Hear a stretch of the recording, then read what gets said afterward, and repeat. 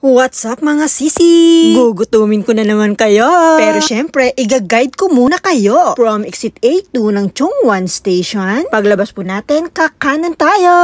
Lakad lang po at tatawid tayo dyan. Diretso lang ang lakad mga lodi ko. Ito nga pong pupuntahan natin ay Filipino restaurant din. Tawid po ulit tayo dyan. Diretso lang po uli ang lakad. Kaliwa naman tayo dyan para tumawid ulit. Dahil first time ko nga pumunta dito, igina-guide din naman ako ni Kuya. Kuya.